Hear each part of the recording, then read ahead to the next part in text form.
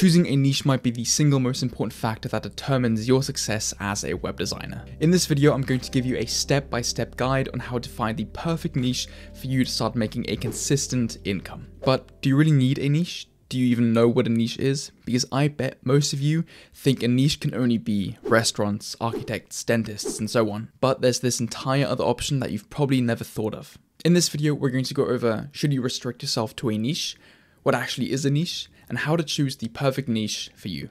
So, should you restrict yourself to a niche? This is probably the first question you ask yourself once you chose to do web design. A lot of us have spent weeks and months going back and forth deciding what niche we want to specialize in, so if that's you, don't worry but the goal of this video is to bring that down and set you on a path of success. Choosing a niche can be a game changer for your web design business for several reasons. When you specialize on a niche, you become an expert in that area, and clients are more likely to trust and hire specialists who deeply understand their industry or needs. Your workflow also becomes much more efficient and streamlined as you know exactly who you're reaching out to and what pain points and desires those clients have.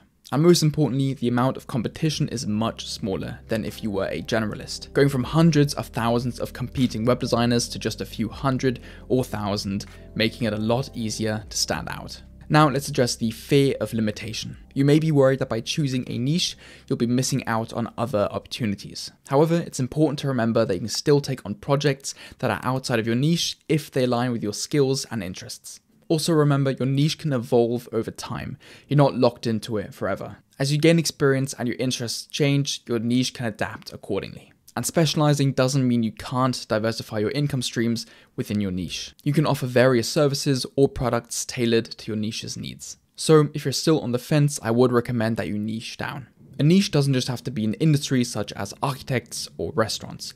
A niche can be separated into three categories. Location, industry, and service. First off, location. As a location based agency, you would pick an area, which could be your local town or city, a region, or sometimes an entire country. The benefits of this would be that you can build a longer and closer relationship with those businesses and its owners. As a resident of Antarctica, for me, that would be John. He's a penguin. With this option, the amount of competition will be much smaller, and you could establish yourself as the expert web designer in that area. Therefore, your client acquisition will be much easier, not only for your SEO and marketing, but most of your clients will be coming through referrals or word of mouth. However, if you live in a city with large agencies as your competition, or in a town with very few companies, it might be more difficult to establish yourself, therefore limiting the number of clients you can sign. Number two, industry. An industry based agency is the most common way web designers niche down. Examples will be law firms, dentists, solar companies, or even startups. The great thing about this option is that you can position your brand as an industry expert. And just like with location, the amount of competing web designers will be much smaller. Think about it this way. If you own a house and want to build an extension to the back of it, would you rather hire a general builder or a company that specializes in extensions? That's right, the general specialists. You would choose the specialists. Additionally, you can combine your industry with a location, for example, plumbing companies in England. By positioning yourself as an expert in a certain field, your messaging, marketing, and especially your sales will become much clearer and you'll come off much more professional. The question I've received multiple times in my comments is if I specialize in one industry, should I still take on clients from other industries? In my opinion, when you're starting out, absolutely. Not only do you gain new skills by designing and developing websites for a different audience and purpose, but you might enjoy working with that type of client or business even more. The only drawback could be that businesses outside of your selected industry won't approach you as they think you wouldn't work with them or that you're not a good fit. And third, service. When you niche down based on service, you're able to differentiate yourself from a lot of other web designers. For example, you could create websites whilst also being an SEO specialist. Or you could focus 100% on the design aspect and work primarily with developers or other agencies. We actually had this exact question come up in our latest Discord community call, where someone had a team of highly skilled developers but didn't know what niche to choose. Trying to convince a client that they should choose you because you have great technical coding skills is going to be super challenging because a client doesn't care about how a website is built, but rather what results it will bring in for the company.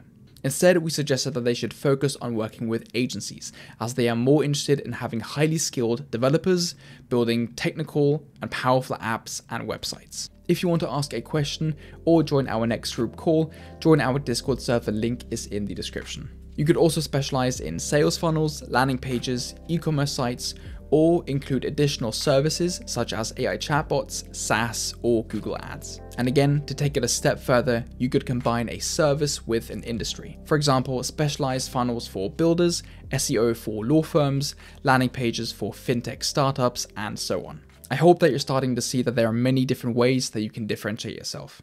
Now that we know that you'll be niching down and what a niche is, how do we choose the perfect niche? I first want you to write down some questions, and eventually answer them, of course.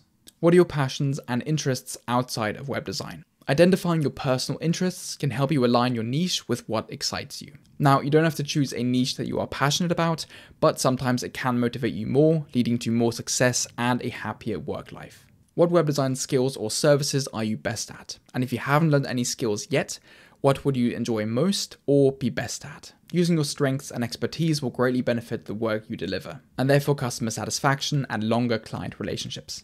Does the niche or client have a problem that you can solve? You need to position yourself as a problem solver, and the clearer the problem they have, the easier it is to sell a solution. Do they have enough money to invest? People or businesses such as hobbyists, so artists and musicians, and side hustles like a clothing line just don't have the money to invest in a website. Sure, you could get your first free client, but it's not a good niche to pursue to get a consistent income. Are they selling high ticket items or large volumes? If a roofing company or architect can make five to fifteen thousand dollars per customer, it's much easier to sell them a website or solution where three to five thousand dollars as it's an investment for them to land more clients. Are they already paying for these types of services? A niche that already invests in their online presence, so branding, social media, advertising, is much more likely to invest in a great website. Are there enough prospects? If a niche only has 100 potential clients, the possibility of you having a consistent stream of work is very low. The more businesses there are in your niche, the more clients you can land.